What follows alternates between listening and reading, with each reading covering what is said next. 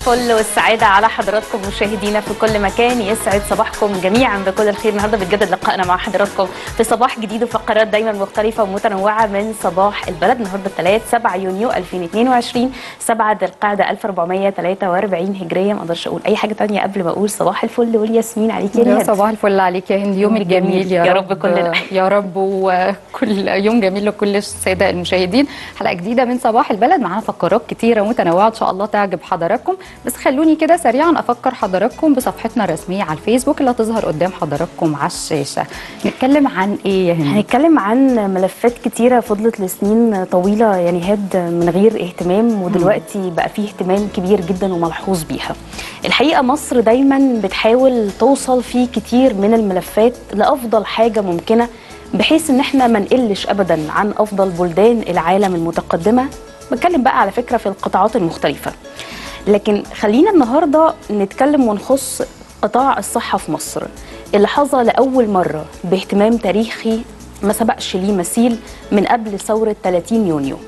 أطلقت الدولة المصرية وبرعاية السيد الرئيس عبد الفتاح السيسي حزمة من الخدمات الصحية العاجلة. ده لسد الفجوة في الخدمات اللي واجهت يعني هنقول للأسف الشديد نقص وتدني للمستوى لسنين طويلة جداً.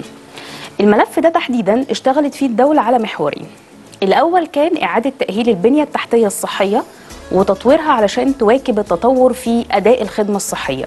من خلال تطبيق منظومة التأمين الصحي الشامل الجديد والمحور الثاني هو إطلاق حزمة من الإصلاحات الصحية علشان نسرع ونوفر الخدمة للمواطن بشكل سريع في ظل بقى تطبيق معايير الجودة المتبعة عالميا بهدف آه، أساسي وهو رضا المريض عن الخدمة. ده اللي دايما بيأكد عليه السيد الرئيس عبد الفتاح السيسي في كل مبادرة بتعلن عنها الدولة المصرية. زي مثلا حملة 100 مليون صحة مبادرة فيروس سي. اللي خلينا نقول واحدة من أهم المبادرات الصحية اللي كانت موجودة في مصر الفترة اللي فاتت.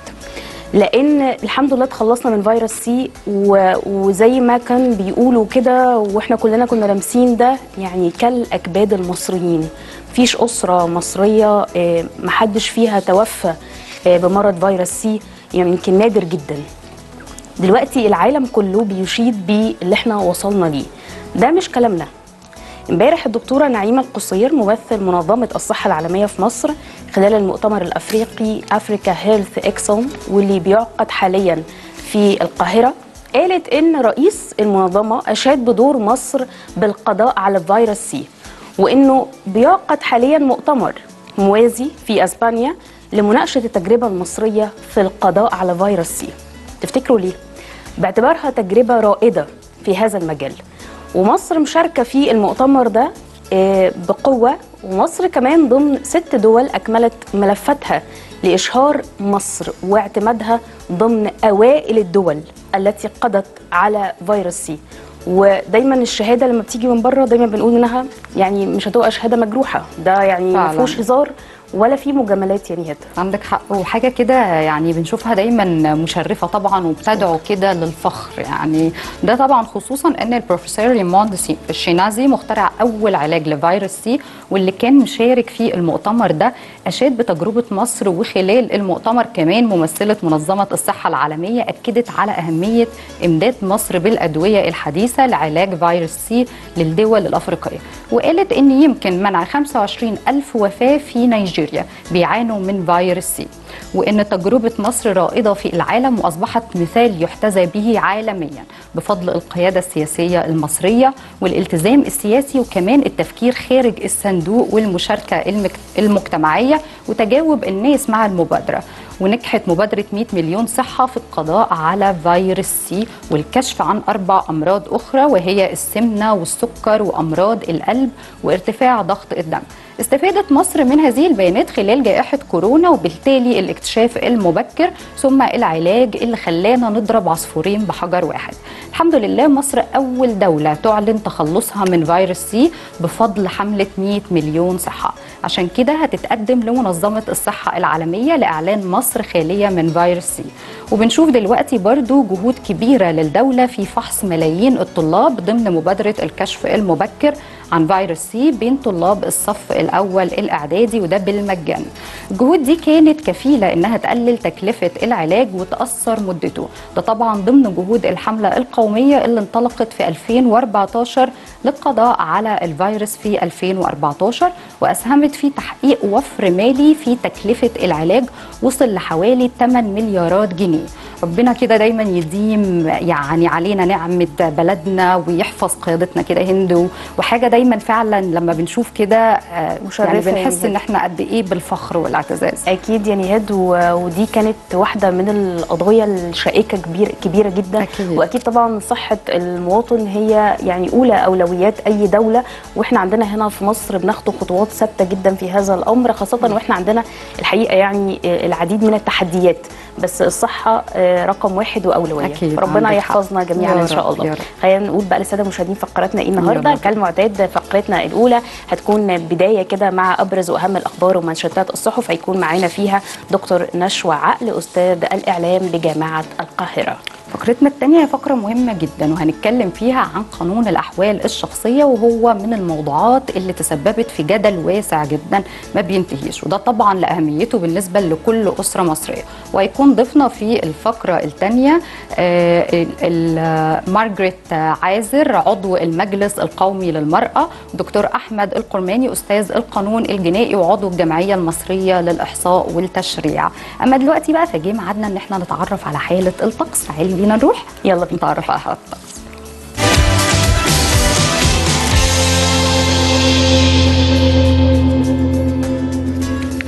خلينا نبدأ مع حضراتكم حلقتنا ونشوف حالة الطقس النهارده. يتوقع خبراء هيئة الأرصاد الجوية أن يكون طقس اليوم حار نهارا على القاهرة الكبرى والوجه البحري والسواحل الشمالية شديد الحرارة على جنوب سيناء وجنوب البلاد معتدل الحرارة ليلا على الأنحاء كافه دلوقتي هنستعرض مع حضراتكم بعد درجات الحرارة المتوقعة بعدد من محافظات الجمهورية والبداية كالمعتاد من العاصمة القاهرة اللي العظمى فيها النهارده بتسجل 35 أما الصغرى 24 اسكندرية 30 22 الإسماعيلية 36 22 الدقهلية 35 22 الغردقة 38 28 والمنيا 36 23 خلينا نروح بقى لبعض العواصم العربية والعالمية والبداية من العاصمة السعودية الرياض اللي العظمى فيها النهارده بتسجل 44 أما الصغرى 29 أبو ظبي 40 29 أنقرة 24 15 لندن 22 14 واشنطن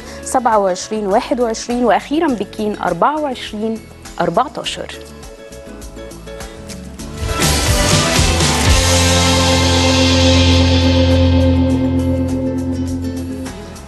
وبعد ما تعرفنا على أحوال الطقس تعالوا بينا نعرف أسعار العملات وأسعار الذهب النهارده. أخبارهم إيه؟ هنبتدي مع بعض بسعر العملة. دولار أمريكي للشراء 18 جنيه و6 قروش أما بيع 18 جنيه 66 قرش. سعر اليورو للشراء 19 جنيه 88 قرش أما للبيع 20 جنيه و6 قروش. جنيه استرليني للشراء 23 جنيه و20 قرش أما للبيع 23 جنيه 46 قرش. ريال سعودي للشراء 4 جنيه 95 قرش أما للبيع 4 جنيه 97 قرش. دينار كويتي سجل للشراء 58 جنيه 44 قرش أما للبيع 60 جنيه 98 قرش. تعالوا كمان نروح نشوف أسعار الذهب أخبارها إيه النهاردة؟ وسجل النهاردة عيار 18 864 جنيه. واستقر عيار 21 عند 1008 جنيه أما عيار 24 سجل 1152 جنيه وأخيرا الجنيه الذهب 8064 جنيه. طيب بعد ما اتعرفنا كده يا نهاد على أسعار العملات والذهب ودرجات الحرارة أعتقد بقى يعني آه، دلوقتي قبل ما أي حد ينزل لشغله بيكون مهتم جدا يعرف إيه الطرق السالكة وإيه الطرق اللي ممكن تكون فيها بعض الكثافات. وعايزين نعرف كمان هل الذروة الصباحية في الشوارع بدأت ولا لأ. خلينا نروح كده لزميلنا هاني النحاس المتواجد دلوقتي بالإدارة العامة لمرور الجيزة. نعرف منه كل التفاصيل هل في محاور بديلة ناخدها أخبار شوارعنا إيه في محافظة الجيزة؟ صباح الفل عليك يا هاني.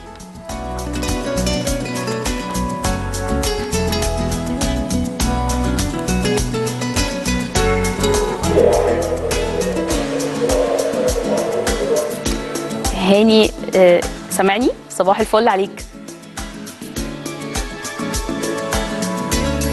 طيب خلينا كده يعني لحد ما نرجع لزميلنا هاني النحاس مرة تانية.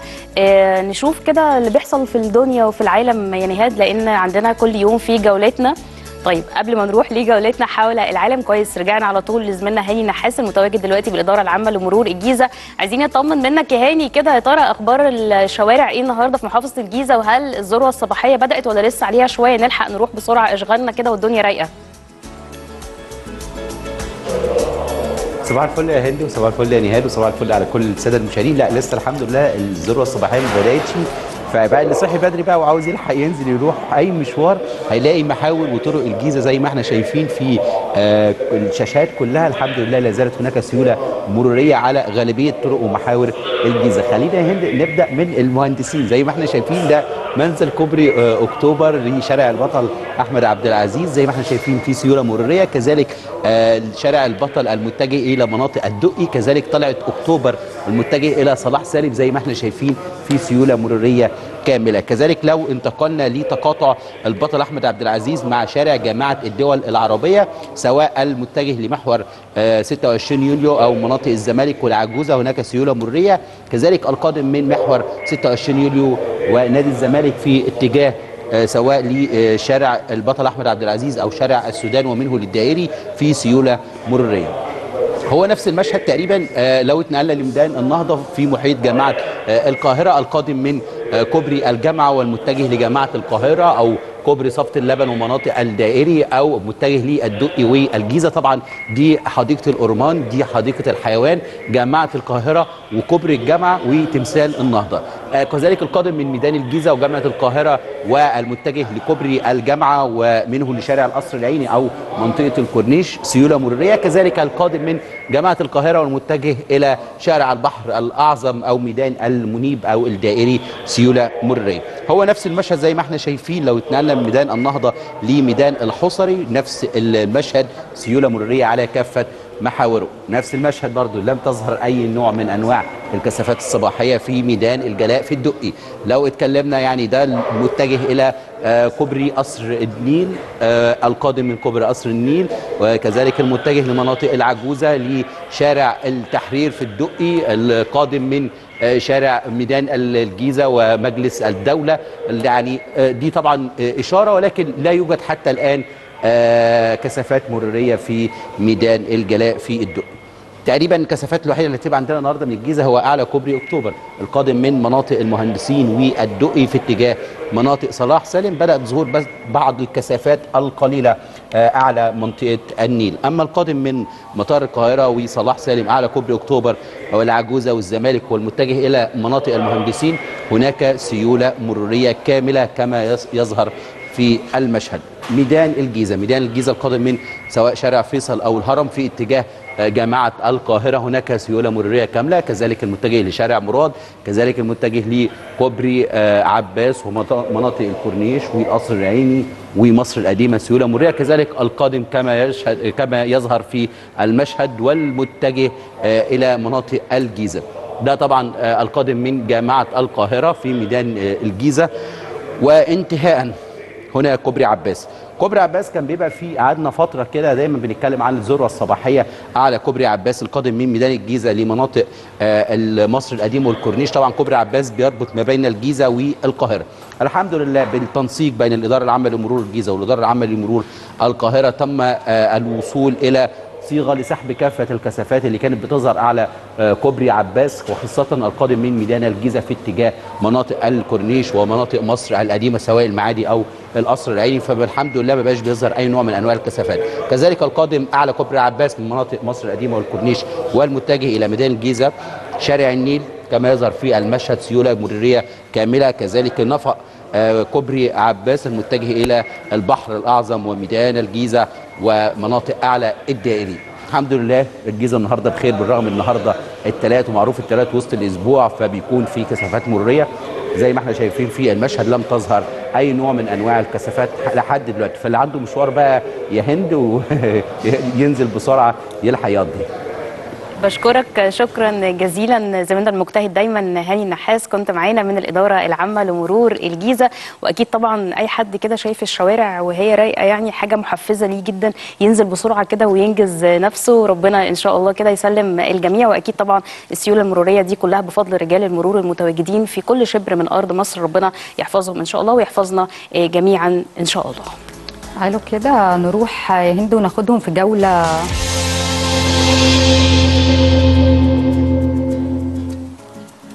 تعالوا كده نروح وناخدكم في جولة حول العالم. هنشوف فيها حديقة حيوان واشنطن تحتفل بعيد ميلاد أصغر باندا بيها. وهنتابع كمان هولندي بيحلق في السماء باستخدام حذاء نفاث وغيرها من الفيديوهات اللي اخترناها لكم من كل أنحاء العالم. تعالوا بينا نتابع جولتنا ونرجع نكمل باقي فقرات.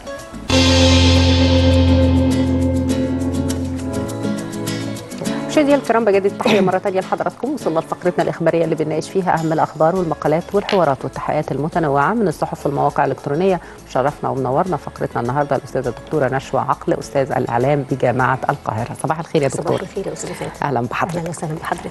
خلونا نبدأ آه، أخبارنا عن اجتماع السيد الرئيس عبد الفتاح السيسي رئيس الجمهورية مع دكتور مصطفى مدبولي رئيس مجلس الوزراء والمهندس كامل الوزير وزير النقل. الاجتماع تناول متابعة الموقف التنفيذي لآخر تطورات منظومة الموانئ على مستوى الجمهورية. وجه سيادته بالاستمرار في جهود تطوير منظومة الموانئ. البحرية المصرية وفقا لأعلى المعايير لتحقيق أقصى استفادة من الموقع الجغرافي المتميز لمصر بالتكامل مع محور قناة السويس عشان يبقى في همزة وصل ما بين الشرق والغرب وده بيساعد على تعظيم عملية التبادل التجاري مع مختلف دول العالم. السفير بسام راضي المتحدث الرسمي باسم رئاسة الجمهورية صرح إن الاجتماع شهد كذلك عرض الموقف التنفيذي لتطورات المرحلة الثالثة من الخط الثالث لمترو الأنفاق لجانب مستجدات الأعمال التنفيذية الخاصة بالقطار الكهربائي الخفيف ال LRT اللي بيبلغ طول مساره حوالي 103 كيلو متر وبيبدأ من المحطة التبادلية عدلي منصور وبيمتد إلى كل من مدينة العاشر من رمضان والعاصمة الإدارية الجديدة وده هيساعد على إحداث نقلة نوعية غير مسبوقة في منظومة النقل الجماعي في القاهرة الكبرى.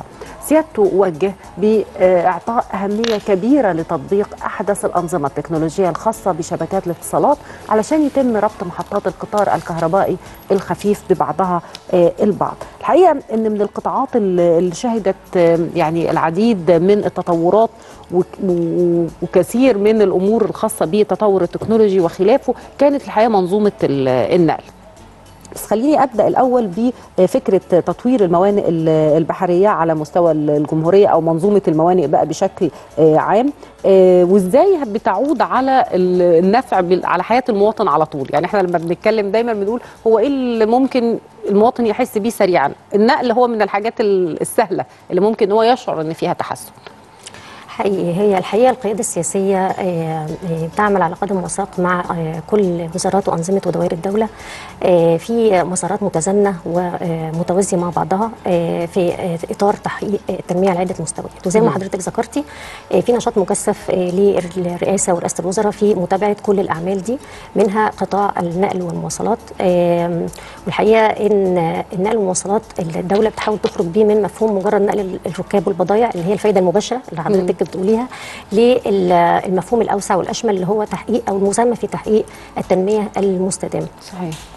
حضرتك بتربطي كمان مصر ب- من خلال ال- طرق النقل والمواصلات والمواني سواء كانت برية أو بحرية بمحيطها الإقليمي ومحيطها الدولي. آه، لأن طبعا آه، مصر ما بقتش أو دو كل دولة ما بقتش بتعمل بمعزل عن نفسها. حتى مشروعات التنمية الداخلية أو المحلية دايما بترتبط بالمفهوم العالمي زي مفاهيم التنمية المستدامة والتشارك والمشاركه حتى حضرتك هنقرأ النهارده برضو آه، موضوع التطورات أو التغيرات المناخية ومشاركة صحيح. مصر فيها. فالدولة بتعمل على مستوى آه، آه، محلي آه، يسمع بشكل آه، أساسي في المستوى الدولي. كمان الدولة دلوقتي آه، ممثلة في وزارة آه، النقل والمواصلات. تحاول تتبنى الأنظمة الذكية اللي المفروض بتيسر على ال- المواطن. برضو فايدة مباشرة التعامل مع آه، يعني حجز ال- ال- القطارات وال والمطارات أو الرحلات ال- الخارجية وكمان التعامل آه، على مستوى التبادل الت- التجاري آه، في المواني مع الأطراف ال- اللي بتستخدم هذه المواني في حركة التبادل التجاري. طبعا تعامل برضو إلكتروني من خلال أنظمة الأنظمة أو التطبيقات الذكية. فالحقيقة آه، آه، ال- كل ده بيرتبط ب إحنا كمان آه، بنحاول يبقى عندنا بقى النقل الذكي والنقل النظيف وبنستعد يعني ان شرم مشروعات الشيخ تبقى آه في. يعني المدينة الخضراء. يعني في حاجات كتيرة في, منظومة النقل يعني فعلا الدولة المصرية ماشية فيها في مسارات م- متوازية. متوازية. ومتعدده صحيح صحيح صحيح.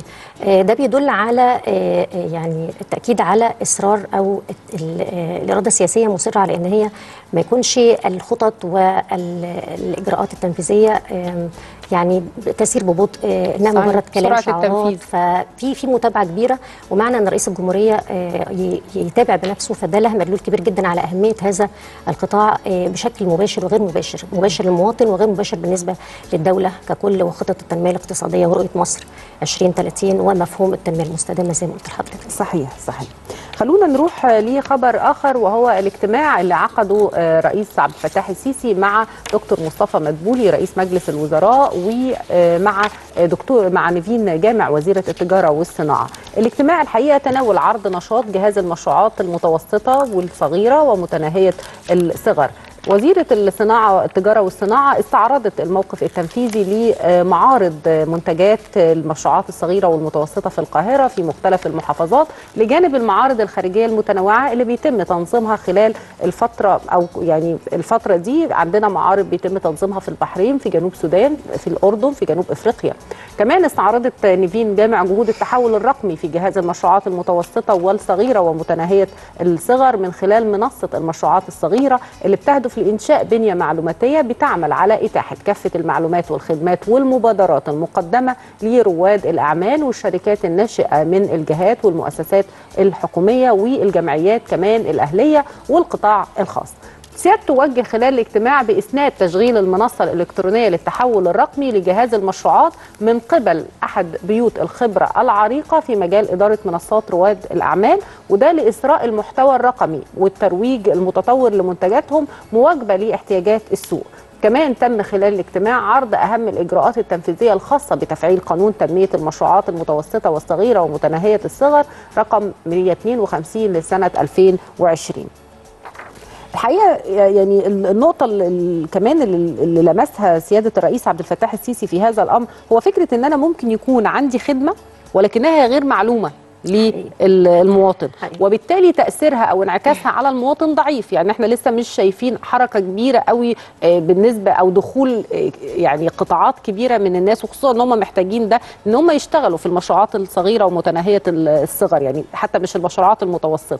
ففكرة إن يعني إيلاء أو إعطاء ال- المنصة دي لواحدة من بيوت الخبرة في منصات رواد الأعمال تاني ده ممكن يعمل انعكاس شوية إن المعلومات تتدفق أكتر ويبقى في انتشار أكتر. أكيد طبعا هو لقاء السيد الرئيس بالسيدة وزيرة التضامن الاجتماعي بخصوص المشروعات آه، أو جهاز آه، تنمية المشروعات. ده برضو بيديني بعض مؤشرات على آه، التعرف برضو على جهود الدولة آه، آه، في آه، هذا السياق وجهود الوزارة أو هذا الجهاز في آه، تمويل المشروعات آه، وخاصة لما يكون ده مرتبط بإنشاء منصة رقمية للجهاز لإنشاء بنية تحتية زي ما حضرتك تفضلتي أو بنية عفوا معلوماتية معلوماتية. آه، خاصة بالمتعاملين مع هذه المشروعات وصغار المستثمرين ورواد الأعمال الصغار خاصة أنها بتقدم برامج تدريبية ال- البنية المعلوماتية هذه أو المنصة الرقمية بتقدم آه، آه، بعض البرامج أو, آه، أو الأفلام التعليمية آه، لبعض التجارب لرواد الأعمال بحيث أن إحنا بنشجع على تطوير الصناعات التراثية وال- والصناعات ال- ال- ال- عفوا اليدوية الحرفية- والصناعات الحرفية. الحرفية. الحرفية تمام وتشجيع بعض المبادرات مثل تحول السيارات لنظام الغاز. فالمحتوى الرقمي لما يكون مسند إلى بيت خبرة ده يعمل على ال- المحتوى وطرق التسويق. ليه؟ لأن ممكن برضه تحط المحتوى لكن له طرق تسويق مختلفة. والأ- إن هي بيعمل ريتش يعني زي ما بيقولوا علشان خاطر آه، يحصل ال- الناس كمان تشوف المنتجات. بالظبط بالظبط. الناس تشوف ده وكمان تتعامل من خلال ده. يعني المنصه مش مجرد معلومات بس لكن تعاملات زي تسويق إلكتروني ما بين آه، الجهاز وما بين آه، ال- الجهات المستفيدة من خدماته ونظام يعني عموما المواطن قرب أكتر بعد موضوع كورونا ضرات الرقمية. النافعه آه يعني والتعامل عن. بعد فده فعلا كان لازم يتم استثماره في تيسير على وقت ال- ال- المواطن آه يعني توفير وقته وتيسير الإجراءات اللي بي يعني كان بتاخد أوقات طويلة جدا جدا وتنظيم دولاب العمل برضو في أي جهاز لأن لما يكون كل حاجة مميكنه ومرقمنة وده طبعا الثقافة الأكثر انتشارا في كل دول العالم ولازم نلحق بده.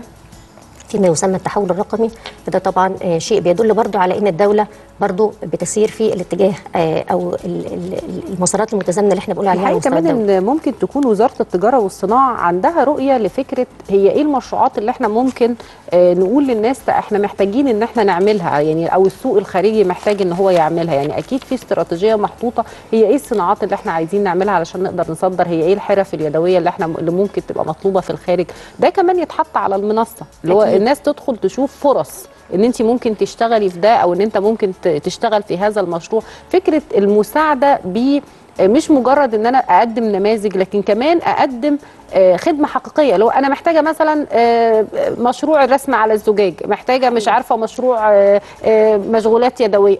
فكرة إن أنا أحط أنا عايز إيه؟ يعني ال- إلقاء الضوء على المشروعات اللي إحنا ممكن يبقى عندنا فعلا عليها احتياج آه، أو. لها عليها طلب ممكن يكون داخلي أو خارجي ولم يتم الانتباه إليها وكمان إبراز التيسيرات اللي ممكن ال- الجهاز نفسه بالظبط أو. الوزارة نفسها آه، تقدمها للمواطنين سواء كان في الداخل أو آه، مستثمرين في الخارج فده طبعا آه، آه، كمان آه، الشروط بتاعه التيسيرات بتاعه القروض وإزاي إن أنا أمشي في إجراءات والحاجات دي كلها طبعا بيبقى المواطن آه، لما بيسأل بشكل شفوي كده للي حواليه أو ما بيعرفش يوصل لحاجة. فما بيعرفش يوصل لحاجة صح تمام. لأن وبيسألونا يعني بيبقى عليها آه اللي هو الناس عايزة تعمل أي حاجة. يعني انت ممكن تقابلي كتير ستات بيوت أو تقابلي ناس أصدقاء أو يبقى عايزين هم عندهم وقت فاضي وعندهم ممكن ظروف مادية تسمح ان هم يعملوا مشروع صغير. هم مش بيبقوا عارفين هو إيه لو عمل. المشروع آه لأن لما بيدخل يكسب على المنصة هيلاقي بالظبط. فيها طبعا تفاعل عليها تفاعل من تجارب ناس اشتغلت قبل كده في القصة دي. فيها ردود من بعض من الجهة نفسها صاحبة ال- المنصة. آه يعني فيها بعض التوضيحات وبعض التسهيلات اللي, يعني فعلا بتوفر كتير من الوقت ومن المجهود وبتدي نوع من الأمل في إن آه يعني الدولة بتقف إلى جانب المواطن اللي ممكن يكون عنده بادرة لإن هو يكون رائد أعمال يبدأ حتى صغير ويعني ياخد طريقه بعد كده. وده آه يعني انطلاقا من تشجيع الدولة لسياسة العمل الحر يعني صحيح. حتة التوظيف في الحكومة والميري وكده يعني لا. يعني بقت حقيقة كمان يا دكتورة نشوى علشان يدوا يعني حتى لما هعرض نموذج مثلا لو أنا هعرض إن أنا هقول إن حد بيعمل مثلا ال- ال- المشغولات ال- اليدوية مش كل الناس هتروح تعمل مشغولات يعني فكرة أكيد. حتى التكالب على الشخص حاجة. معينة نجحت ما هو ده في حد ذاته هيفقدها برضو يعني بريقها. وبالتالي ممكن هيقلل من فكرة توزيعها ففجأة نلاقيها لا ما عادتش ما عادتش مجدية. فهو فكرة التنوع بأفكار كتيرة وأعتقد إن إحنا عندنا فرص واعدة كتير في مجال الصناعات يعني. يعني ده كمان محتاجينه الحقيقة يبقى موجود داخل داخل المنصة. ده حقيقي. خلونا بقى نروح لخبر آخر أيضا عن دكتور مصطفى مدبولي ومتابعته للحقيقه لمجموعه من الأمور والمواقف خاصة في الموقف التنفيذي لبروتوكولات المشروعات ما بين الوزارات والهيئة الهندسية للقوات المسلحة بحضور الدكتورة هالة السعيد وزيرة التخطيط والتنمية الاقتصادية والعميد رضا سويلم رئيس الفرع المالي بالهيئة الهندسية للقوات المسلحة. خلال الاجتماع تم استعراض البروتوكولات اللي تم توقيعها بين الهيئة الهندسية للقوات المسلحة والوزارات المختلفة عشان يتم تنفيذ عدد من المشروعات. رئيس الوزراء وجه بسرعة توفير التمويل لاستكمال هذه المشروعات المهمة كمان خلال الاجتماع تم استعراض أبرز المشروعات اللي تنفذها الهيئة الهندسية للقوات المسلحة ومنها في قطاع الزراعة استصلاح وتنفيذ البنية الأساسية والداخلية لمساحة 15 ألف فدان بشمال سيناء وغيرها من مشروعات النقل وقطاع الصحة والعديد من المشروعات الأخرى هي يعني إحنا عارفين إن الهيئة الهندسية الحقيقة بتقوم بدور كبير جدا في تنفيذ العديد من المشروعات ودايما عموما الشعب المصري بيبقى عنده اطمئنان لما بنعرف صحيح. هذا المشروع للهيئة الهندسية نبقى عارفين إن هو هيتم بأعلى معايير. وكمان بأقل الوقت وأقل وأقل تكلفة. وأقل تكلفة. آه، جهود الهيئة الهندسية الحقيقة واضحة جدا في المشروعات التنموية خاصة فيما يتعلق بمسألة التنمية المستدامة ووصولنا ليها ورؤيتنا 2030 حضرتك شايفة جهود ال- الهيئة إزاي إيه أهم المشروعات اللي ممكن تكون أنجزتها الهيئة الهندسية في فترة وجيزة وحققت يعني على الأرض أو وقفت مصر على رجليها بشكل كبير في الفترة دي طبعا مشروعات الطرق وتطوير حتى المواني اللي إحنا في أول خبر اللي إحنا كنا. بنتكلم عنه خاصه مواني البحر المتوسط زي دمياط والإسكندرية وكذلك آه، آه، رفع كفاءة آه، بعض المستشفيات زي مستشفى أرمنت ومستشفى العجمي ومستشفى بور فؤاد وبعض مراكز طب الأسرة كان لها يد برضو فيها طبعا إحنا بنقول على المراحل الأخيرة يعني الحاجات اللي الحاجات. الجديدة. لكن طبعا على مدار يعني عدة سنوات منذ تولي السيد الرئيس والهيئة الهندسية بتطلع بدور كبير جدا جدا آه، في آه، دورها في إنجاز الكثير من مشروعات البنية التحتية وحتى دلوقتي ماشيين في إطار يعني يعني حلم أتمنى إن إحنا قريبا إن إحنا نحققه اللي هو الاكتفاء الذاتي من القمح ومشروعات تشكي وزرع آه، ملايين الأفدنة اللي ممكن تعوضنا عن توابع الأزمة الاقتصادية اللي حاصلة دلوقتي على الساحة الدوليه. كمان الهيئة الهندسية بتشارك برضو في تطوير البنية التعليمية بين ال- المؤسسات التعليمية في جنوب سيناء وكذلك برضو برضو مشروعاتها في العاصمة الإدارية اللي هي المفروض بنأمل إن هي تبقى مشروع آه، اقتصادي واستثماري كبير جدا لمصر يعمل لها يعني يعني نعمل ما يسمى ال nation branding يعني أو ال- العلامة الوطنية للدولة لما يكون في عندنا كمان عاصمة جديدة بمستويات بمستوى دولي ومستوى عالمي بيعمل بالأنظمة الذكية وبرضه بيتبنى مفهوم آه، آه، التحضر للأخضر يعني زي ما إحنا إحنا آه، بنقول فعلا. يعني آه، مبادرة وزارة البيئة حقيقي بالنسبة لتطوير المواني كان أهمها ميناء السلوم والغردقة وكمان تنفيذ محور عدلي منصور اللي هو على النيل اللي هو في بني سويف آه، يعني مشروعات كتيرة جدا جدا في مجال ال- الثروة السمكية ومجال يعني بنية تحتية وكذلك خدمات وكذلك صناعات كبيرة جدا كانت آه، شبه إن هي كانت آه، المياه ومعالجة الميه صحيح، يعني صحيح. عندنا حفر الحقيقة. حفر آه يعني عندنا استصلاح كمان فيما يخص قطاع الزراعة يعني زي ما ذكر الخبر إحنا عندنا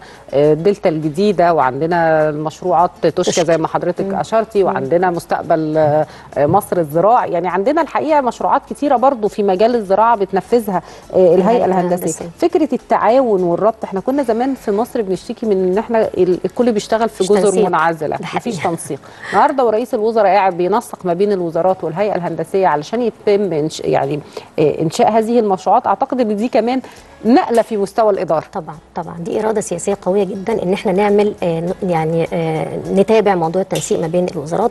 طبعا الوزارة المنوط بها ده بالأساس هي وزارة التخطيط لكن برضه وجود رئيس الوزراء في الصورة آه، ده بيضمن جدية ويكون جدية التنفيذ وسير البروتوكولات آه، التعاونية ما بين الوزارات المختلفة والهيئة الهندسية على بخطى حسيسة خاصة كمان إن ده بيسلط الضوء على العقبات اللي ممكن تكون موجودة في إطار هذا التعاون مثل عقبات التمويل آه، آه، مثلا آه، آه، يعني في آه، يعني بعض العثرات اللي ممكن آه، رئيس الوزراء في الصورة وتنسيقها بالشكل ده آه، ممكن يزيل هذه العقبات علشان يمشي العمل أو دولاب العمل بالشكل المطلوب. صحيح. خلونا نروح إحنا لسه الحقيقة مع أخبار مجلس الوزراء. كان بالأمس هناك لقاء لدكتور مصطفى مدبولي رئيس مجلس الوزراء مع دكتور كونيستا نيفيانو شيونجا نائب رئيس جمهورية زيمبابوي وزير الصحة والوفد المرافق له. وده كان بحضور دكتور خالد عبد الغفار وزير التعليم العالي والبحث العلمي القائم بأعمال وزير الصحة والسفير محمد خليل الأمين العام للوكالة المصرية للشراكة من أجل التنميه بوزارة الخارجية. رئيس الوزراء أشاد بالعلاقات التاريخية اللي بتربط ما بين مصر وزيمبابوي في آه، على مدار التاريخ أيدت مصر منذ الستينات حركات التحرر في الدولة الإفريقية وكانت القاهرة في مقدمة الدول اللي أقامت علاقات دبلوماسية مع هراري عقب الاستقلال في 18 إبريل عام 1980 دكتور مدبولي أكد خلال اللقاء حرص مصر على بناء علاقات قوية مع دولة زيمبابوي كما أكد على رغبة الجانب المصري أن يكون هناك زيادة في التبادل التجاري ما بين البلدين. تطرق أيضا دكتور مدبولي خلال المقابلة لرئاسة مصر واستضافتها للدورة 27 لمؤتمر أطراف اتفاقية الأمم المتحدة الإطارية لتغير المناخ كوب 27 في نوفمبر المقبل. والدور الريادي اللي بتلعبه مصر حاليا في قضايا تغير المناخ خاصة أن القارة الأفريقية هي أحد أهم وأكثر المناطق في العالم تضررا من التبعات السلبية لتلك الظاهرة. حقيقة مصر دلوقتي عندها يعني آه، ال- اللي عارفة القدرة إنها بتناقش قضايا القارة الإفريقية بشأن كبير يعني عودة مصر مرة أخرى للملف الاقليمي الإفريقي وإن إحنا بنتحدث دايما عن العلاقات المصرية وتغيرها إحنا في خلال فترة بسيطة قدرنا نوصل لعلاقات الحقيقة متميزة مع ال- الدول ال- الإفريقية لكن علاقات مصر فعلا وزيمبابوي ممتدة بقالها كتير ومصر كانت حريصة مع بداية الستينات أو الخمسين أواخر الخمسينات إن إحنا يبقى عندنا علاقات مترابطة مع القارة الإفريقية وده سايب عندهم أثر. لحد النهارده. طبعا طبعا. آه هو ده آه يعني بنسميه عودة الأمور إلى نصابها الحقيقي لأن بعد يعني بعد فترة من آم، يعني هنقول آم، خمول شوية الدور المصري آه، لحد قبل ثورة آه، 2011 صحيح. طبعا مع آه، تولي الرئيس عبد الفتاح السيسي. آه، انتبهنا طبعا لأن آه، آه، ارتباطنا الوثيق آه، يعني عبر الزمان والمكان بالقارة الأفريقية وإحنا طول الوقت لنا آه، قوة ناعمة فيها. يعني إحنا عندنا آه، مشروعات البنية التحتية في كثير من دول الأفر- الأفريقية ومنها آه، زيمبابوي. آه، بعض الشركات المصرية الكبيرة هي اللي بتقوم بيها.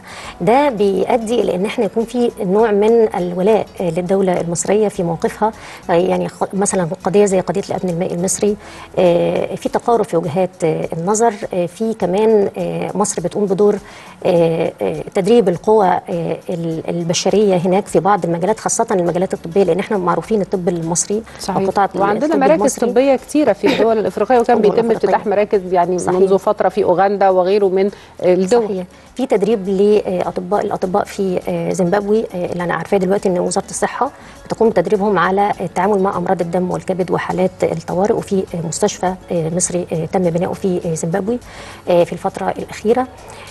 كمان وجودنا في الحيز الأفريقي أو في الامتداد الأفريقي لينا زي ما قلت لحضرتك بيدعم المواقف المصرية وكمان بيزود حجم التبادل التجاري بيننا خاصة إن الدول الأفريقية عندها المواد الخام لكن إحنا عندنا الصناعات فحتة إن إحنا نعمل تبادل ما بيننا وما بينهم في ده ممكن يعني يسهل حاجات كتير جدا خاصة لو تم تسهيل طرق آه، طرق ال- النقل والمواصلات بقى آه، صحيح. اللي ممكن تبقى إحنا عايزين بقى القاهرة كيب تاون والحاجات أيوة اللي اللي إحنا. والربط ما بيننا وما بين السودان عبر سكك حديدية يعني عايزين هذه المشروعات تتم آه، بشكل كبير إحنا كمان الحقيقة اللقاء ده يمكن تم على هامش المؤتمر الطبي الأول الإفريقي اللي منعقد في مصر واللي الرئيس فيه عمل مبادره لإرسال ملايين عدد من الملايين من التطعيمات للقارة الإفريقية كمان ودي كانت مبادرة من الدولة المصرية المصرية، صحيح. وعندنا كان تطعيمات كانت موجودة لكورونا للأفارقة اللي موجودين فيروس سي والتعامل آه، التعامل. مستمر على طول صحيح. على مدار عدة سنوات تولي الرئيس عبد الفتاح السيسي وبنرجع لدورنا الرئيسي آه،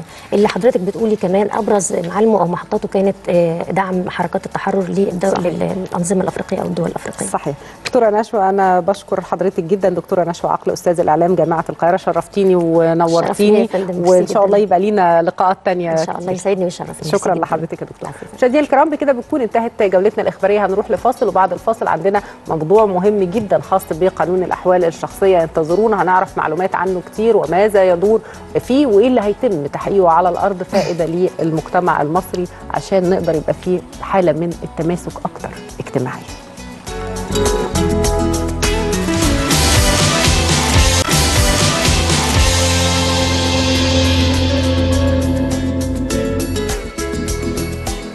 بجدد التحية مرة تانية لحضراتكم من الموضوعات الهامة جدا واللي بتشغل بال يعني أسر كتيرة داخل مجتمعنا المصري هو إزاي يتم تنظيم الأحوال في حال الخلاف.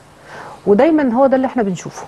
الحقيقة يعني عندنا موضوعات كتيرة جدا داخل الأسر المصرية مش هنقدر إن إحنا نتجاهلها حتى سواء كانت وصلنا للمحاكم أو ما وصلناش للمحاكم بس فكرة تنظيم العلاقة نفسها إحنا محتاجين إن إحنا نعيد النظر فيها. قانون الأحوال الشخصية في مصر من المواضيع اللي كانت في أحيان كتيرة بتعتبر مسار جدل واسع والكلام عنه ما بينتهيش. يعني حضراتكم فاكرين فاتن حمامة أريد حلا وحاجات كتيرة وما زال المشهد في المحاكم لأن الحقيقة القانون من المفترض إن هو ينظم العلاقة ما بين أفراد الأسرة واللي بدوره هيتبني عليه حقوق وواجبات مش للزوجة ومش للزوج ده, لكل الأطراف الزوج الزوجة الأبناء الع- العائلات نفسها.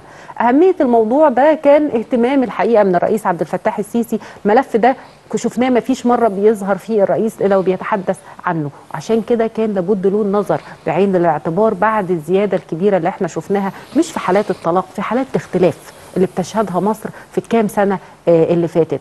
الزيادات الكبيرة في الاختلافات الزيادات الكبيرة في دعاوى الطلاق قضايا الخلع كانت بمثابة الحقيقة جرس إنذار إن إحنا لازم نبص شوية ولازم يبقى في حلول على الأرض بقى تنهي هذا الأمر. التقارير اللي صدرت عن الجهاز المركزي للتعبئة العامة آه، والإحصاء كشفت عن ارتفاع نسب الطلاق في مصر بشكل كبير عن الفترات اللي فاتت. السيد الرئيس كان له توجيه شديد في اجتماعه اللي شفناه حضراتكم من يومين بحضور المستشار عمر مروان وزير العدل إن يتم تشكيل لجنة من الخبرات القانونية والقضائية المختصة في قضايا ومحاكم الأسرة علشان يتم إعداد مشروع قانون الأحوال الشخصية وبيبقى بمثابة التزام وضمانه لحقوق جميع أفراد الأسرة سواء كان زوج أو زوجة أو أبناء.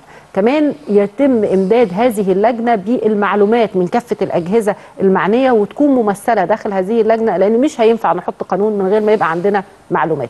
نعرف كلام أكتر وهنعرف إيه اللي هيحصل من خلال آه، لقائنا النهارده مع السيدة مارجريت عازر عضو المجلس القومي للمرأة. آه، حابه حضرتك معانا يا فندم صباح الخير.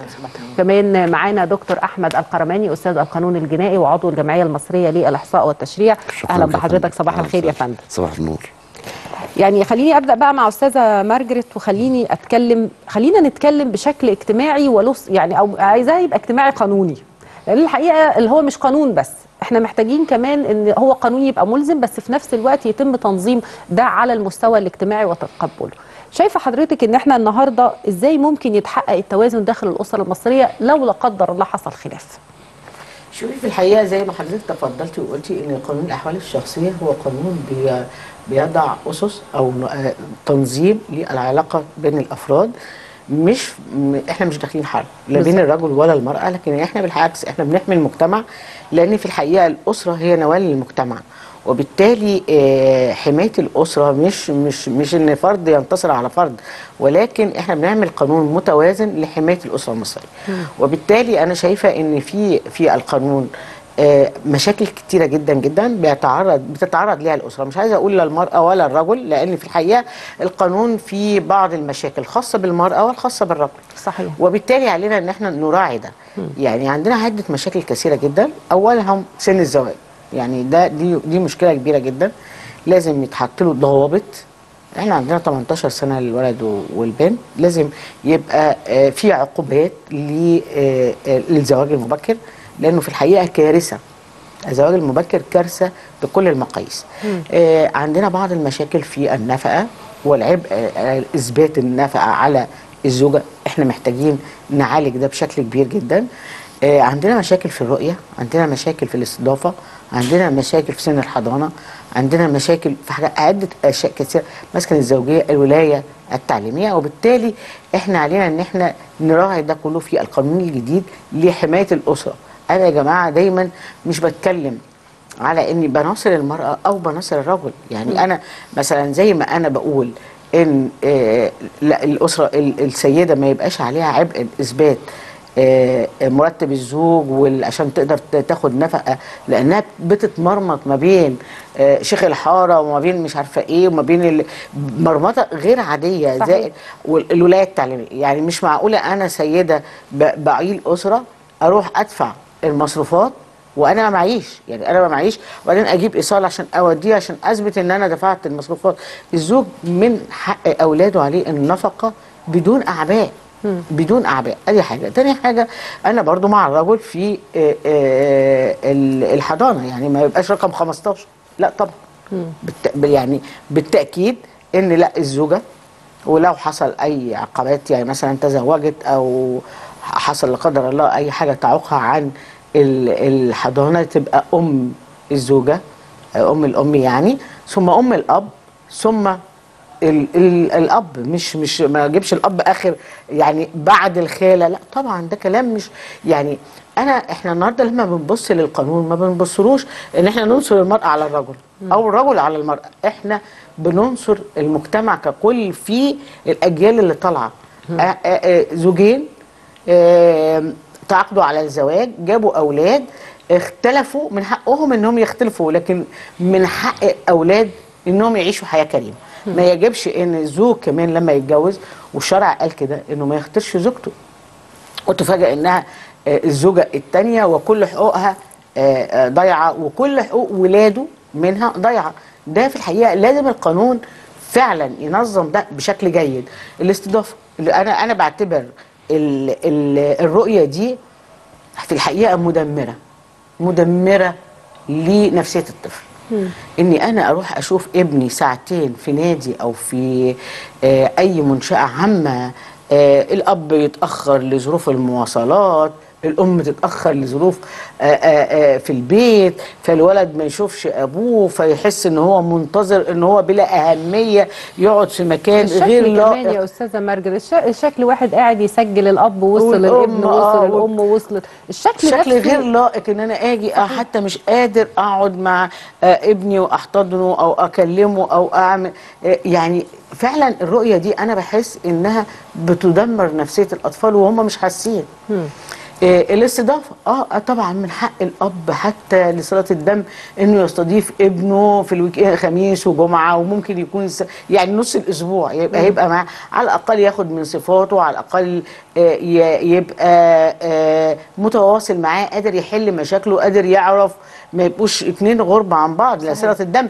لكن هل الاستضافة تبقى بلا يعني آخد ابني مثلا وأسافر؟ مش هقول لك تسافر بره. أنت لو سافرت داخل المحافظات أنا مش هلاقي ابني. وبالتالي لازم يبقى في ضوابط تحدد أو تضمن للأم إن ابنها هيرجع لها وإن ال ال ال ال الحياة هتستمر بينهم وبين بعض بشكل سلس. فالقانون في الحقيقة محتاج إنه ينظر نظرة شامله للأسرة. أنا ما بقولش إن هو ينصر المرأة على الرجل ولا الرجل على المرأة. صحيح. طب دكتور أحمد هو دايما أنا ال- السؤال اللي بسأله أنا عارفة إن إحنا عندنا قوانين كتير وعارفة إن إحنا عندنا قوانين آه، بتضبط وبتعمل التزامات ويعني اللي هو ممكن ما تتحدث عنه الأستاذة مارجت إن أنا يبقى عندي ضوابط. أنا ممكن تبقى لكن طريقة التطبيق طريقة تعاطي الناس للقانون طريقة التلاعب بالقوانين. خلينا نتكلم اللي هو فكرة إن أنا محامي شاطر شوية في يضيع يل- يلبخ الدنيا ويضيع الدنيا ويخلي سواء للرجل أو لل- للمرأة. هل إحنا القانون اللي موجود دلوقتي لو حبينا إن إحنا نمسكه كده ونقول لا إحنا بس محتاجين الثغرة دي محتاجين نسدها. ال- النقطة دي محتاجين إن هي لا ما عادتش موافقة للأوضاع دلوقتي الاجتماعية والاقتصادية. فهل إحنا عندنا ده ولا إحنا القانون كله على بعضه؟ يعني هو غير يعني النقطة دي تحديدا أنا عايزه أفهمها. آه، أنا أضم صوتي صوت الأستاذة. آه، حوار راقي جدا. أشكرك. وإحنا هدفنا في النهاية أسرة متوازنة. صحيح. وبنسعى لمصلحة الأسرة. إحنا لسنا في شجار والشجار لن يفيد بل سيعمق الأزمة. إحنا النهارده قدام كارثة حقيقية تفكك مجتمعي. الست خسرانة والراجل خسران والطفل والأولاد. خسران. والدولة في النهاية هي اللي بتدفع الثمن لما نيجي نبص على الدستور الشريعة الإسلامية وكافة الشرائع الد- الدينية نظمت الزواج لأنه متعلق بالعقائد. صحيح. الحقوق والالتزامات معروفة ولكن لعن الله قوم ضاع الحق بينهم. يعني الآيات القرآنية واضحة اللي يبقى فيه مودة وفيه رحمة حتى بعد الانفصال. والقرآن بتاعنا عبر بأبلغ الآيات وأكرم المرأة والمرأة بالنسبة لنا هي كل شيء هي مش نصف المجتمع ده هي هي العمود الخاص بالبيت هي اللي بتربي وهي اللي وهي اللي بتكون الشخصية. أنا ما أقدرش أفصل المرأة ولا أقدر أفصل الراجل. يعني عشان برضو إحنا نكون موضوعيين ونأكد على الكلام من ده ولا بد الاعلام ما يظهرش الشجار. إحنا بنتكلم من وجهة نظر اجتماعية قانونية. صحيح. وفي النهاية عايزين نستخلص الأمور. طبعا المشاكل اللي الاستاذه عرضتها إحنا كنا بنعاني منها. وسؤال حضرتك الجميل العيب في مين؟ العيب في الطرفين. أنا النهارده ما أقدرش أحمل الدولة بما لا يستطيع عشان نكون واضحين. أنا النهارده فشل طرفين أو فشل طرف الغلطان يتحاسب. وفي النهاية خالص بندور على مصلحة الطفل. الزوجة حقها معروفة. ولا يقبل أي رجل أو أي إنسان أن يفتأ على حقوق الزوجة أو اللي هو يضيع حقها لأنه سيحاسب دنيويا واخرويا. ده حقوق ما فيش فيها كلام ولا جدال. النفقه واجبه على الراجل شيء أساسي. التزاماته ومسؤول عن الأسرة ده شيء أساسي. والزوجة كذلك عليها واجبات زي الراجل بالظبط. ما نقدرش نفصل ده عن ده أو نهمش دور أي منهما. ويكفينا شرفا إن الجنة تحت أقدام الأمهات. ده شيء كبير ومسؤولية عظيمة جدا. الأب النهارده مطحون في طاحونه الحياة. مين اللي قاعد مع العيال؟ مين اللي بيزرع, بيزرع في نفوسهم القيم؟ هي الأم. الطرف الضعيف في المسألة باختصار المرأة. المرأة بس انت بتيجي برضو لو قلنا الطرف الضعيف مرة هتلاقي دلوقتي ناس كتير من الرجاله اللي. قاعدين. يقول لك لا ده هي اللي جبروت ده هي اللي منعاني إن أنا لا أتحدث. عن النماذج الشاذة. أنا راجل في المحاكم وشايف الوضع قدامي. وأنا لا مع ده ولا مع ده النهارده بنتكلم كلامنا علم وربنا. سنسأل عليه لأن إحنا في مسؤولية وطنية. رئيس الجمهورية بكافة أجهزة الدولة مهتمية بالمسار ده لأن في عندنا خلل اجتماعي. رئيس الجمهورية لما يتكلم في ملف زي ملف داخلي في ظل الأوضاع العالمية يبقى الموضوع خطر الموضوع مش سهل. صحيح. فعشان نكون إحنا واضحين وده من واجبات رئيس الجمهورية. على سبيل المثال لما تتحدث عن الطلاق لابد اللي يكون مكتوب. هل ده خالف للشريعة؟ لا. ده من حق رئيس الجمهورية في أي دولة حتى في ديننا كذلك لو تلاقى النصوص لن تجدي في خدمة المجتمع يعدل منها. وعندنا آه تاريخ. شوف حد السرقة. سيدنا عمر أوقف الحد. صحيح. إحنا هنا في القرن 22 في سنة 2020 في ظل التقدم ما زالت العقول مغلقة. صحيح. طب والحل؟ ده هي مش مغلقة ده هو بيحركها كمان الغل والكره والعناد. يعني خلينا نقول إن أساس ال- المشكلة هو لا الراجل باصص للست إنها الأم والجنة تحت أقدامها ولا هو باصص إن هي الزوجة اللي كف يعني زهقته في عيشته. زهقت في عيشته؟ أنا لا أتحدث عن نماذج. وهي بصاله إن هو الراجل اللي زهقها في عيشتها النماذج وبوظ حياتها. أستاذتنا عشان نكون واضحين بنتكلم عن النماذج المعتدلة اللي هي الأم كما ينبغي والأب كما ينبغي. صحيح. أنا لا استطيع أن أبني قاعدة قانونية على على القواعد. الشاذه أو أو الحالات الاستثنائية. النهارده عشان نتكلم في التعديلات باختصار بسيط. في مشروع قانون قدم من مجلس الوزراء. حقيقة هذا المشروع فيه مواد محترمة. زي إيه يا دكتور؟ يعني على سبيل المثال الاستضافة. الرؤية أنا انضم صوتي لصوت الأستاذة. الرؤية دي مهينة جدا. الاستضافة القانون المشروع القانون اللي صدر من مجلس الوزراء اهوت حضرتك. نظم هذا الأمر. بقى عندنا الاستضافة. من 8 ساعات حد أدنى ل 12 ساعة. يومين في الأسبوع. ممكن تعملي مبيت للطفل. في استضافة إلكترونية.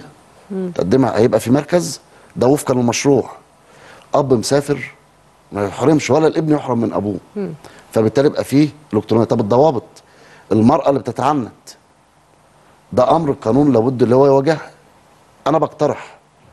يفرض عليها غرامات. تعويض. والمحاكم حكمت بتعويض في سوابق قضائية عن المرأة اللي امتنعت عن الرؤية اللي هي حق الزوج. ده أول نقطة. تاني نقطة خلعها من الترتيب بتاعها يدي اللي بعدها في الترتيب. معايا حضرتك؟ طيب المسائل دي كلها لا تجدي لمصلحة الطفل برضو نبحث نضاعف من العقوبة. إنما ما وصلش الحبس لأن الحبس في خطر على الطفل. صحيح. ده أمر منهي. القانون الجنائي في أضيق الحدود نستخدمه في الأسرة زي النفقه لو إحنا اتكلمنا على مصلحة الأسرة نقدر نقول ما فيش نفقه ما فيش عقوبة جنائية والمفترض ما يبقاش في عقوبة جنائية لكن الكل هيتهرب طبعا. فالواقع يقتضي إن أنا يبقى في عقوبة جنائية زي المشكلة اللي أنا حاططها. بالنسبة للزواج اللي اتجوز زوجة تانية. طب بس أنا عايزة بس أعلق تعليق صغير. حضرتك اتكلمت على تعنت الزوجة. ما اتكلمتش على حقوقها. في انها تضمن إن ابنها يرجع لها ما لسه ما اتكلمتش. بشكل آه لا أصل حضرتك قلبت على حاجة تانية. طب لا أنا عايزة النقطة دي. آه. طب خلونا بقى في النقطة دي تحديدا طالما حضرتك استوقفتي. أنا كنت مستنية دكتور أحمد يخلص. لكن هي فكرة زي ما دكتور أحمد قال هي ممكن إنها بتمنعه مثلا علشان هو ما بيصرفش. يعني خلي يعني أنت باصص. لحقوقك إن أنت تشوف ابنك بس أنت ما بتصرفش عليه. فدي ده حقها برضه قانوني. تعمل ما إيه بقى؟ دي تبقى آه. من ده حقها قانوني. آه طبعا حقها قانوني إن هو يصرف طالما ما. دفعش نفقة خلاص. ما هو لو هو ما دفعش النفقه من ضمن العقوبات إنه ما يستضيفش ابنه وما يشوفوش. لأن هو ما بيصرفش عليه. هو ما بيأديش واجباته. فهو بالحق بالتالي ملوش أنا أعرف إن القضايا دي. بتبقى منفصلة. ملوش يعني حقوق. قضية النفقة غير قضية الرؤية. الاقتراح حضرتك اللي إحنا اللي أنا آه. بقترحه حضرتك عشان برضه يفيد الأسرة.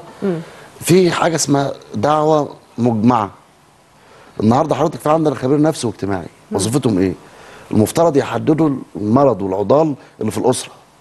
دراسة واقعية مش مجرد روتين أوراق بنملاها ده يبقى جوه ما هو المحكمه موجود. تمام. بس يأدوا دوره إزاي؟ لازم نثقفهم ونعلمهم. آه. لما يدي التقرير صح القاضي مش مجرد آلة بيطبق لأ. لازم ندي براح للقاضي. مش مجرد اللي هو آلة بيطبق نص القانون لأ.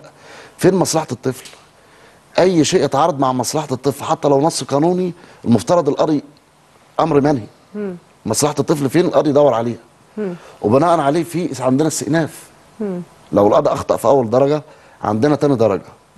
فبالنسبة للرؤية الزوج النهارده لو ما دفعش النفقة أو ما دفع ما أداش واجباته لا خلاص أمر منتهى ده حقها اللي هي تمنع. صحيح. طب الاستضافة حضرتك والمبيت ده شيء أساسي. لابد للطفل يبقى ينمو في وسط يعني يبقى فيه توازن عشان نبقى أسرع نفسيا. فيما بعد لما يبقى طبيب أو يبقى مهندس أو يبقى مسؤول ده ستؤثر عليه. إحنا شفنا الجرائم اللي إحنا شفناها الفترة اللي فاتت دي في مجتمعنا تنذر بكارثة. أطباء ومهندسين ودكاترة. متهمين في ابشع الجرائم طب أستاذة مرجت عشان يمكن يعني أنا وقتي قرب يخلص بس أنا أو خلص. طيب أنا هاخد بس السؤال الأخير. هي فكرة إن أنا أجمع الدعاوي يعني أنا بلاقي إن الست تروح ترفع قضية نفقة وبعدين تروح الراجل يرفع قضية رؤية وبعدين هي نفس الحالة يعني هي الزوج والزوجة والأبناء. فكرة تجميع ده كله إن إحنا من يعني اللي هي اللي قال عليها دكتور أحمد، لأن إحنا ننظر للموضوع كله على بعض. أنت ليك اللي هي تبقى قضية واحدة. لا يعني- نشتت الراجل ولا نشتت الست. يعني أنا أعتقد إن لما يحصل يحدث خلاف آه. يبقى ولجأنا إلى القضاء يبقى القضاء يحسم كل الطلبات اللي موجودة داخل سواء الرؤية سواء النفقه سواء وأنا كان عندي اقتراح وإحنا في مجلس النواب إن يبقى آه، في الحقيقة أنا كنت عايزة أتلاشى ده كله وأخف ال ال الضغط على المحاكم يبقى عقد الزواج في كل حاجة. يعني عقد الزواج ما هو العقد شريعة المتعاقدين صحيح. وبالتالي حينما أعقد زواج ليه ليه الأسرة المصرية تقول لك ده فال وحش لا ده كمان يا جماعة مش فال وحش ده أنا بضمن للطرفين حقهم فأنا طب ما أنا بكتب قد وبكتب بالظبط. كده يعني قد يجوز ان آه. أكون آه، في عقد الزواج أكتب الن- النفقة دي فكرة آه، كويسة. آه، أكتب ال موجودة في مشروع. موجودة دي آه، إنها والخطبة كمان آه لأن. إحنا قدمناها في الحقيقة موجود. في الحقيقة قدمناها في مجلس النواب في ال- في الدورة السابقة إن عقد الزواج يبقى متضمن كل ما يحدث من خلاف ال- ال- ال- المسكن يقول لمين في صحيح. حالة ال- في حالة ال- ال- الحضانة أو عدم الحضانة آه، النفقة تبقى في حدود كذا من ال من ال من الدخل الأساسي ال- يعني أحل كل هذه الم... لو في زواج تاني يحدث إيه كل ده ممكن أحطه في عقد لأن العقد شريحة المتعاقدين أنا الحقيقة وبالتالي أنا أعفي نفسي من كل مراحل التعاقد. وتبقى دي اتفاق والله ده م- إحنا متفقين في حالة الخلاف هنعمل كذا في في حالة في الات- مشروع قانون مجلس الوزراء المادة 20 تكلم عن وثيقة الزواج وشهادة الإطلاق تمام. الطلاق فالوثيقة دي سيثبت فيها بس مسكن الزوجية وكل الأمور دي كلها أمور حقوق موجودة ومعروفة. لكن النهارده لما نيجي نتكلم على ما تحددي نفقه معينة في ظل تضخم وارتفاع الأسعار وكل سنة تختلف لا أنا بقول نسبة من الدخل. نسبة من نسبة من- الدخل. يعني القانون يعني أنا عايزة أقول لحضرتك حاجة. صح المسكن موجود وكل حاجة لكن أنا برضو بقول العقد شريعة المتعاقدين القانون زي ما بقول دي لحضرتك؟ في القانون حل دي إزاي؟ أكمل. إضافة بس. زي ما حضرتك بالظبط كده لما ب... يعني طبعا ده حاجة مش بقول زي يعني أنا بقول مثال. زي مثلا لما بقول مثلا ان آه، آه، يعني الست تقدر تطلق نفسها أو ال... ال... يعني أو تبقى لها حق الطلاق إنها تطلق جوزها. ما هو ده أنا بشترطه في العقد. لا هو لا هو فكرة كمان إحنا ما لما بشتغل في إحنا العقد لكن نعمل هو- شركة بنبقى م- بنبص وندقق قوي يا كل واحد وواجباته. محكمة النقد حضرتك عشان برضو في إطار الصياغة. آه. واللجنة اللي كونت دي من أمهر المستشارين المختصين بالأسرة. بالتأكيد. آه. تمام حضرتك. و... وأنا متفائل جدا المرة دي متفائل جدا. يا رب. آه، لأن الموضوع الرئيس دخل فيه في عندنا رئيس محكمة استئناف طنطا. كل اللي عاملين في مجال الأسرة بكفاءات حتى قضيات. آه، سي... سيؤثر على التشريع. صحيح. في عندنا حضرتك آه، في ملحق. وثيقة الزواج. ده حضرتك هياخد عليها الصيغه التنفيذية. يعني مش هتلجأ المحكمه لو أنت اتفقت. بالظبط. كويس جدا. في بقى شيء إحنا بس علشان ده كان مقترح أنا- على فكرة في مجلس النواب السابق أنا إن عقد دي هتبقى هايله وكانت عندكم هنا في صدى البلد. آه هتقفل الباب الحقيقة طب يعني. بالنسبة لحضرتك قضايا الزنا المهم آه. قضايا الزنا لابد اللي هي تبقى في قضايا الأسرة في قانون الأسرة. آه. ولابد ان إحنا نن- نعيد النظر يا أستاذة في العقوبة ما بين الراجل والمرأة. نساوي ما بينهم. غير لا-. فرصة حقيقية حضرتك اللي إحنا النهارده نعمل تشريع متوازي بهدوء وروية والإعلام اللي هو يجيب عالم بهدوء ونناقش الأمور مش صراع صحيح. عشان نقدر نوصل رسالة للناس فعلا جريمة الزنا على فكرة فيها مخالفة دستورية جدا. ما هو القانون. بقى إحنا وأنا قدمت قانون برضو في مجلس النواب عن قضية ال- ما إحنا. محت... هي فرصة الحقيقة. أنا شايفة إن يعني فرصة. كل القانونيين كامل، وال. الحقيقة. أنا يعني أنا أنا وقتي خلص. طبعا الموضوع كبير بس إحنا هيبقى لنا لقاءات تانية كتير أكيد. الأستاذة مارجريت عازر عضو المجلس القومي للمرأة. بشكر. حضرتك جدا شرفتينا ونورتينا. الدكتور أحمد القرباني أستاذ القانون الجنائي وعضو الجمعية المصرية للإحصاء والتشريع. شرفتنا ونورتنا يا فندم. الحقيقة إحنا زي ما إحنا محتاجين لقوانين بس محتاجين تاني إن إحنا نبص لنفسنا شوية يبقى في رحمة. يعني نرحم بعض. لأن الحقيقة أساس ال- الخلافات أصلا بتبقى ما فيهاش رحمة. وإن حصلت المفترض إن إحنا نبقى يعني حتى لو مش خايفين علينا كطرفين المفروض إن إحنا نخاف على أولادنا اللي إحنا يعني ما بيبقاش حيلة الأسرة المصرية وما عندهمش أغلى آه، منهم. خلونا نجنب مشاعر العند والغضب وال- والكره وكل أي حد متع... يعني محتمل إنه يختلف. لكن في النهاية في أبناء وفي أسرة لازم إنها تستمر علشان تقدر تأدي آه، رسالتها حتى وإن حدث هذا الاختلاف. أعتقد إن لو المبدأ ده حصل لما هنيجي بقى نطبق القوانين هنلاقينا الأمور أهدى بكتير لأن مفيش قانون هينفع من غير ما تبقى الحالة المجتمعية والاجتماعية نفسها ما بين الناس كمان هم متقبلين إن هم يعملوا ده ومش محتاجين إن إحنا نلجأ للمحكمة. أنا بشكر حضراتكم جدا بكده بتكون انتهت فقرتنا. إن شاء الله أشوفكم بكرة على خير. لكم مني التحيه ومن أسرة برنامج صباح البلد.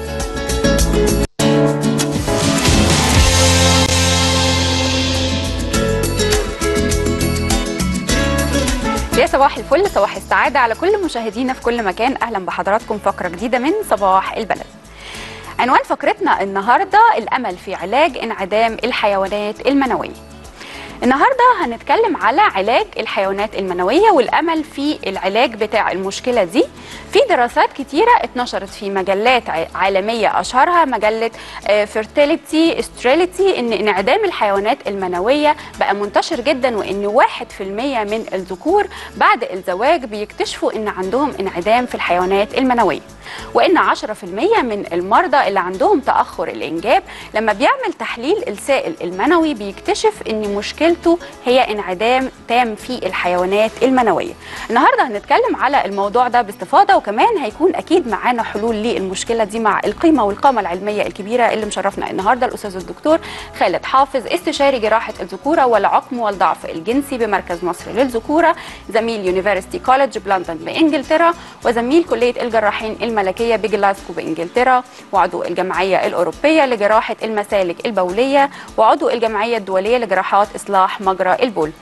دكتور خالد صباح الفل على حضرتك. أهلا بحضرتك منورنا. الله النهارده. صباح الفل. أهلا وسهلا. النهارده يا دكتور هنبدأ بمشكلة وأكيد المشكلة دي يكون ليها معانا حل وهو الأمل. الأمل في علاج حالات انعدام الحيوانات المنوية. خلينا يا دكتور في البداية نعرف يعني إيه انعدام حيو... الحيوانات المنوية ويمكن المشكلة دي للأسف ما بنعرفهاش أو الثقافة السائده عندنا إن ما تتعرفش غير بعد الزواج. طبعا بعد ما بيتم مشاكل كتير والصبر على فترات طويلة بيحاولوا فيها إن يحصل حدوث حمل طبيعي. خلينا في الأول نعرف يعني إيه انعدام الحيوانات المنوية. تمام. يعني من دواعي سروري إن أنا مع حضرتك النهارده وفي برنامج جميل زي صباح البلد اللي هو بيدي دايما بارقة أمل للناس وبيوصل لهم يعني آه، رسالة إن دايما في أمل ودايما في علاج وإن إحنا لازم ناخد بالأسباب. شرف لينا يا دكتور. الله يخلي حضرتك. آه، انعدام الحيوانات المنوية تعريفه إن مفيش حيوانات منوية نهائيا في تحليل السائل المنوي في تحليلين على الأقل. آه، أنا بقول كده ليه؟ لأن في ناس كتيرة بتعمل تحليل واحد فقط وتلاقي مفيش حيوانات منوية وتعتمد عليه في التشخيص والعلاج وده تمام. خطأ كبير. آه لازم تحليلين على الأقل ويكون التحليلين بيأكدوا إن مفيش حيوانات منوية خالص في السائل المنوي. يبقى أنا كده وصلت لتشخيص الحالة إن عندها انعدام في الحيوانات المنوية وأبدأ بعد كده أفكر في بقية التشخيص والعلاج. تمام. تحليلين يا دكتور تحليلين نفس التحليل يعني مش تحليلين نوعين مختلفين. تحليلين هو نفس منوي. التحليل بيتعاد مرتين على بالظبط. فترات متباعدة. بالظبط لأن ممكن يبقى في مشكلة في العينة. العينة ما جاتش بطريقة كويسة أو في مشكلة في المعمل أو في أي مشكلة خلت الانتربريتيشن أو تقييم العينة ديت مش مظبوط. صحيح. وده حصل كتير. يعني كتير. مرة جالي مريض آه، كان مخضوض جدا جدا عمل تحليل سائل منوي لقاه صفر. ولما كشفت عليه لقيته أموره كويسة جدا خصيه حجمها كويس. قلت له غالبا وكمية التحليل كانت قليلة. قلت له غالبا دي مشكلة في العينة بتاعت حضرتك فمعلش عد لنا التحليل تاني. وعاد التحليل وطلع طبيعي. فلازم تحليلين على الأقل يؤكدوا إن مفيش حيوانات منوية خالص في السائل المنوي. تمام. يمكن يا دكتور مشكلة انعدام الحيوانات المنوية ما بتكتشفش عادة بدري يعني مم. عادة بتكتشف بعد الزواج بعد ما آه بيكون خلاص في حياة في أسرة هنا بنكتشف المشكلة دي ومن هنا بقى بتحصل المشاكل اللي مم. بعد كده حجم المشكلة دي يا دكتور قد إيه؟ هل هي فعلا مشكلة كبيرة جدا ملهاش حلول النهاردة؟ هل هي مشكلة بسيطة وفيها أمل زي ما إحنا قلنا وحلولها سهلة وسريعة النهاردة حجم المشكلة دي بيوصل لإيه؟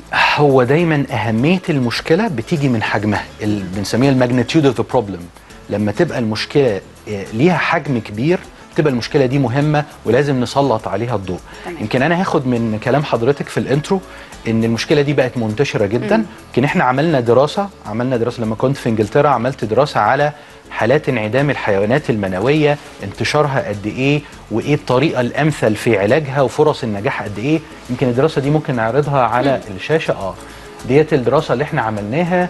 نشرناها في ال Human Fertility وديت آه يعني آه من ال journals ال- المرموقة جدا في أمراض الذكورة. آه كانت بتتكلم على معدلات حدوث انعدام الحيوانات المنوية وازاي تتعالج وإيه فرص النجاح وإيه فرص الحقن المجهري بعد كده. تمام. آه في آه 10% من المرضى اللي عندهم تأخر إنجاب لما بيعملوا تحليل السائل المنوي بيكتشف إن مشكلته انعدام في الحيوانات المنوية. تمام. و10% دي نسبة كبيرة. طبعاً. ما هياش نسبة قليلة. آه، واحد في المية من الناس اللي عندها انعدام آه، تأخر في الإنجاب بشكل عام بتبقى مشكلته انعدام في الحيوانات المنوية فطبعا مشكلة انعدام الحيوانات المنوية آه، منتشرة جدا وهي في ازدياد دلوقتي. يعني كان زمان نادرا نادرا لما يجي لنا مريض تحليله صفر. دلوقتي يمكن نص العيادة أو أكتر مرضى معاهم تحاليل آه، ما فيهاش حيوانات منوية. السبب إيه يا دكتور؟ هل هي أسباب وراثية؟ هل هي أسباب آه، يعني مكتسبة؟ هل هي حاجات عادات خطأ الرجل بيعملها؟ مش موضوع عادات قوي ولكن في لسبب أو لآخر الموضوع زاد. في theories كتيرة وفرضيات كتيرة بتقول ليه انعدام الحيوانات المنوية زاد دلوقتي؟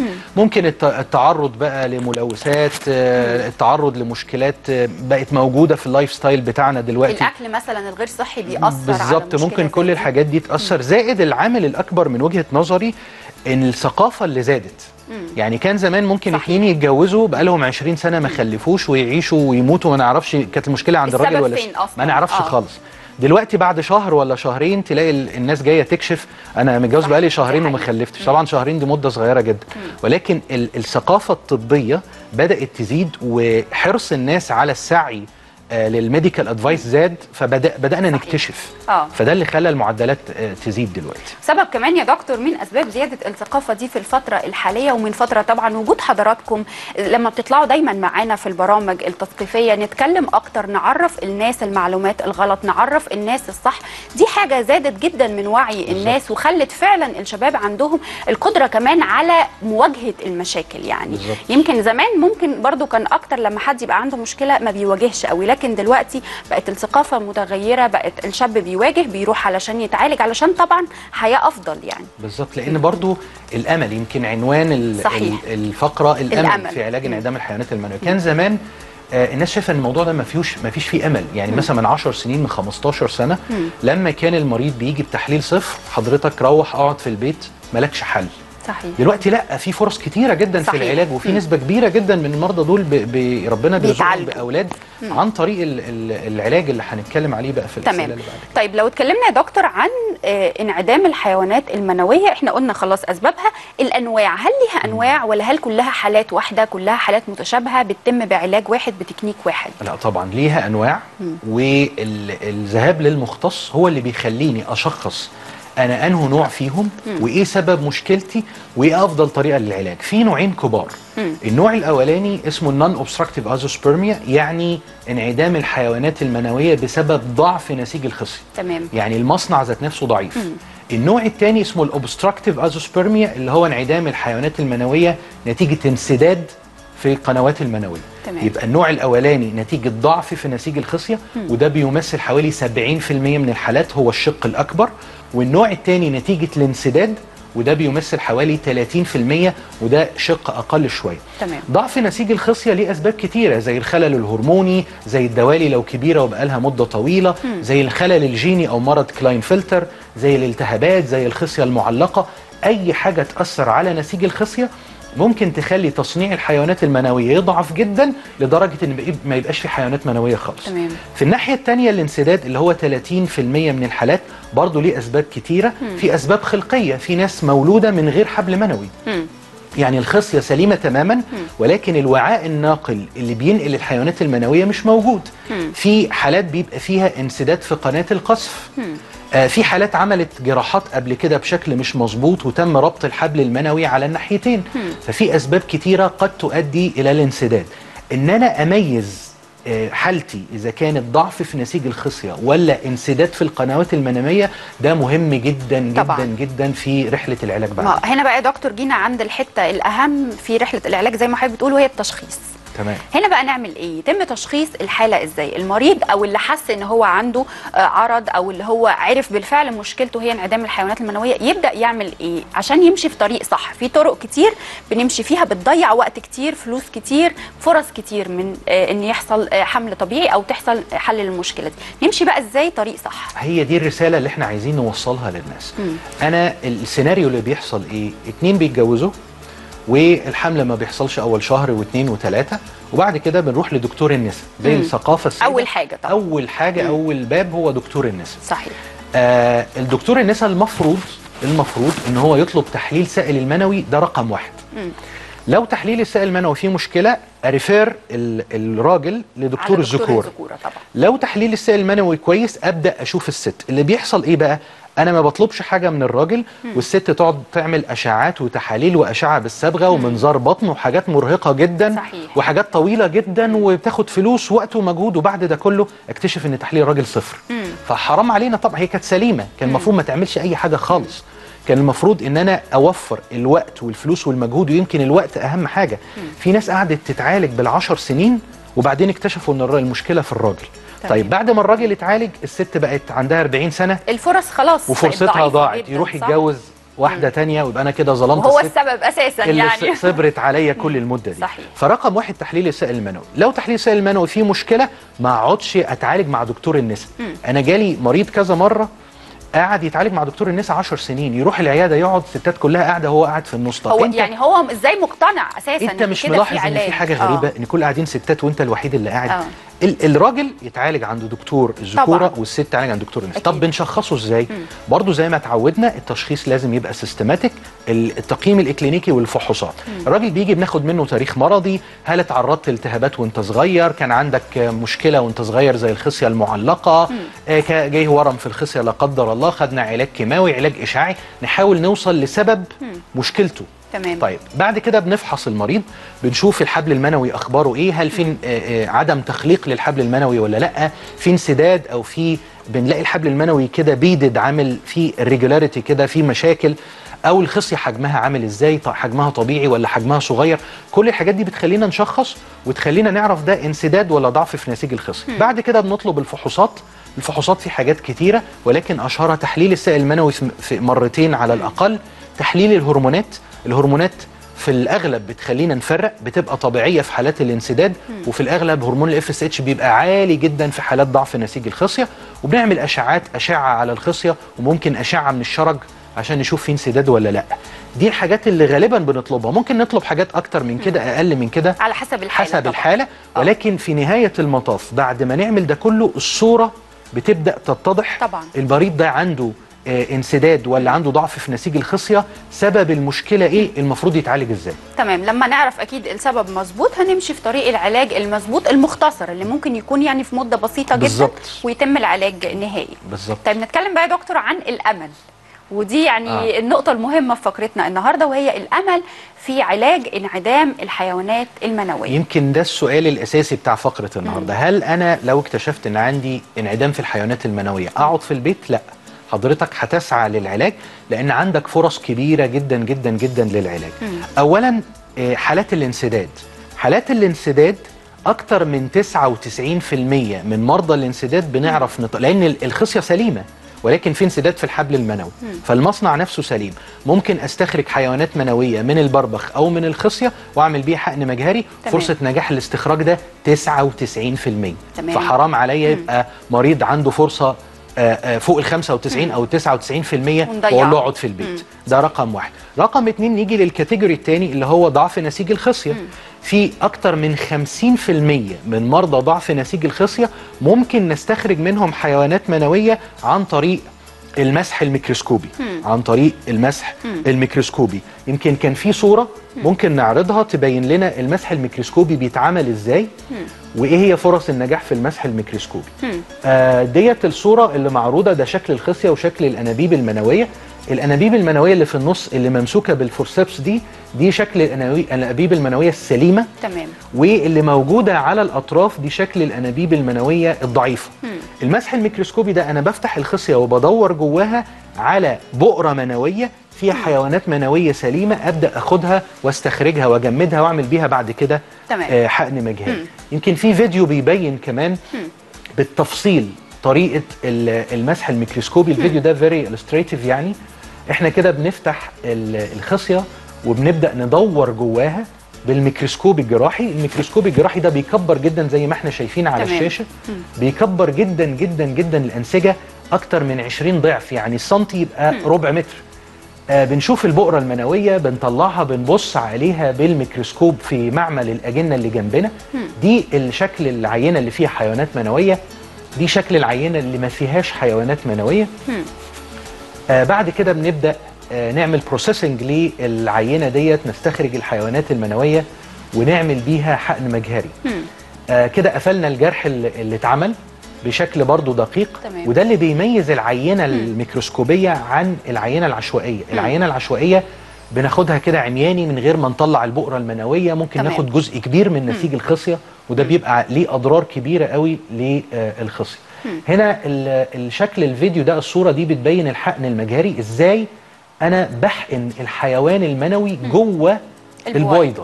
مهما كان الحيوان المنوي ده ضعيف ما بيتحركش كويس أنا خلاص أنا آه. انتقيت أفضل الموجود صحيح. وحقنته جوه البويضة بشكل مباشر عشان يتكون جنين بعد كده ننقل. الاجنه ففرص الأمل وفرص العلاج فوق ال 95% في حالات الانسداد فوق ال 50% في حالات ضعف نسيج الخصية. اللي عايز أقوله لحضرتك إن حتى ال 50% اللي ما بنلاقيش فيهم حيوانات منوية هو برضه بيبقى استفاد. تمام. بيبقى استفاد إن هو خد بالأسباب. وإن هو ارتاح نفسيا أنا خدت بالأسباب آه. وعرفت إن الخصية بتاعتي مش شغالة فأنا كده أبقى مرتاح نفسيا ما أقعدش طول العمر أحس إن أنا كان عندي فرصة وأنا فوتها على نفسي. تمام. طبعا يا دكتور يعني معلومات قيمة جدا من حضرتك. بشكر جدا وجودك معنا النهارده. شرفتنا. ونورتنا. الأستاذ الدكتور خالد حافظ استشاري جراحة الذكورة والعقم والضعف الجنسي بمركز مصر للذكورة. زميل University College بلندن بإنجلترا. زميل كلية الجراحين الملكية بجلاسكو بإنجلترا. عضو الجمعية الأوروبية لج- لجراحة المسالك البولية. وعضو الجمعية الدولية لجراحات إصلاح مجرى البول اي اس أو ار يو خلصت فقرتنا استنونا وفقرات مختلفة. مختلفة من صباح البلد